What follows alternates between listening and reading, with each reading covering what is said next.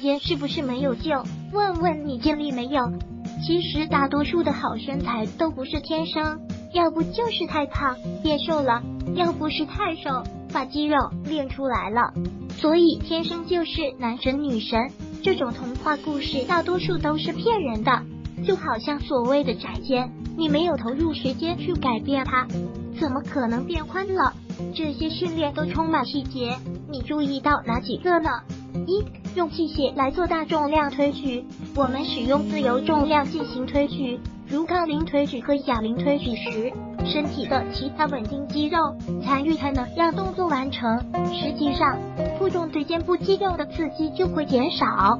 如果训练想负重，针对三角肌施予更大的刺激，把杠铃推举和哑铃推举换成器械推举，并在训练的开始练，这样你能更集中发挥更大的力量。二，训练量一定要足够，一般我们都会安排每组八幺二 RM 的训练，这是以增肌为目的的有效次数范围。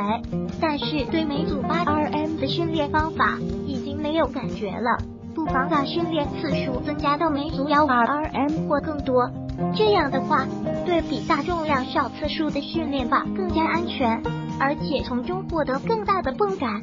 三、训练三角肌需要增加训练频率，每周应该安排练两次肩。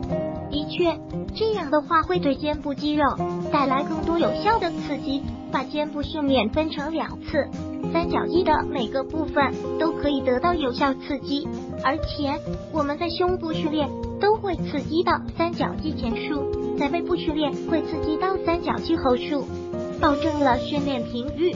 我们还需要在饮食和休息中提高要求，两次肩部训练中间要保证有两天的休息时间，并且日常多吃点蛋白质含量高的食物。还要有足够的碳水化合物。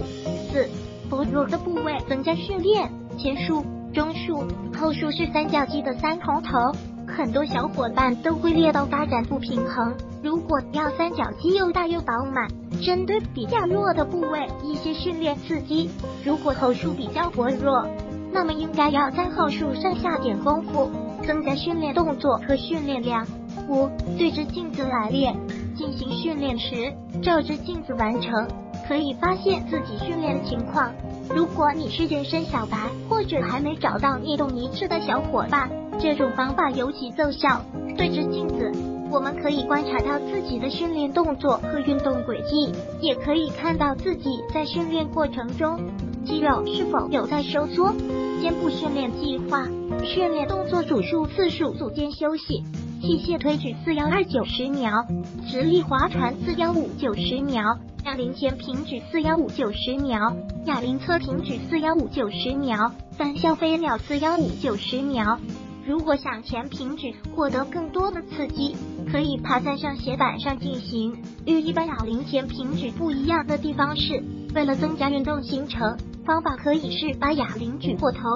侧平举训练可以让你的三角肌中束更加饱满，呈现出与上臂与肩部分离的视觉效果。我们一般会使用站姿哑铃侧平举，同时可以增加坐姿侧平举。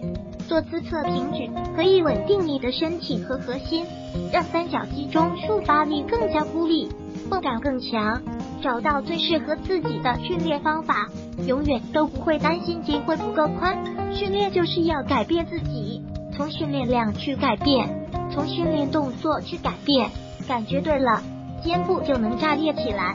如果你那天练起来真的有感觉，不妨多练几组。